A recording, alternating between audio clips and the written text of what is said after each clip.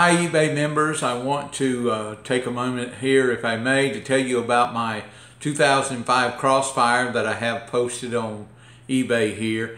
I purchased this car a few years back as a toy. Uh, one of my attractions to it was that it was a six-speed manual and uh, I just love to drive manual transmission vehicles and so I purchased this car with that in mind and uh, it, it ran absolutely great. I have not had to do anything mechanically to it other than regular maintenance, changing the oil and filters and uh, grease and things of that nature. And it's been an absolutely perfect car uh, for me to drive over these few years. But now, uh, due to health reasons and so many toys that I have around, I'm fortunate that uh, I just need to get rid of some of my toys and, and work on my retirement a little bit more.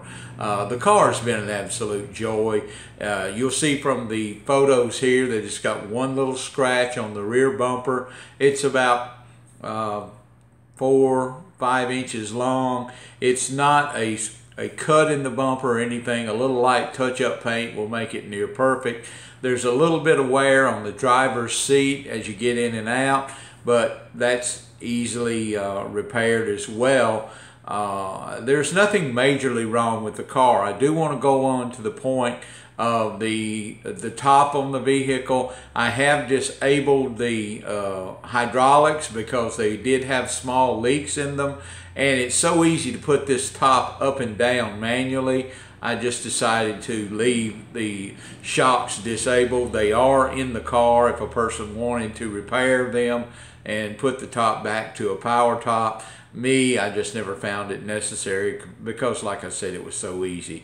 I've put brand new tires on this car. I mean, they are beefy, great looking front and rear tires on it. It has the bra on the front. The bra is not hiding any scratches or anything. I just like the way the uh, bra looked on the car. The color, of course, is one of the most unique things about it. It's the yellow. It's not too bright. It's not too subtle. Uh, I, I, enjoyed the color on this vehicle uh, in its entirety. And the, the top on the vehicle, I just spent uh, like $800 having the fabric repaired, stitches repaired in it, a new rear window. Uh, it looks great on the vehicle. Uh, it's, it performs absolutely flawlessly. So uh, I look forward to hopefully seeing one of you get just a, a darn good car for, a very affordable price for the type car that this this is.